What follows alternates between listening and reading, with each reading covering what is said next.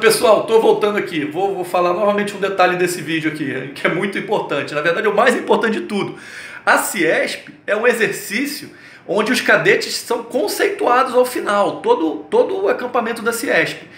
E os cadetes que vão mal, não se destacam, ou melhor, não se preparam e têm um desempenho chamado I, que é de insuficiente, no ano seguinte eles voltam e fazem de novo. Então, não é bizu sair tem que se dedicar, tem que se preparar, tem que aguentar o rojão e se pelo menos ter um conceito suficiente para não voltar no ano seguinte, porque senão faz com a turma de baixo e se sair de novo, faz de novo e se se machucar durante a Ciesp também vai fazer de novo, se faltar também a Ciesp vai fazer de novo, então pessoal, é isso aí. Eu esqueci de falar isso no vídeo, mas é muito importante falar esse detalhe aí, tá bom? Um abraço a todos aí, fiquem com Deus.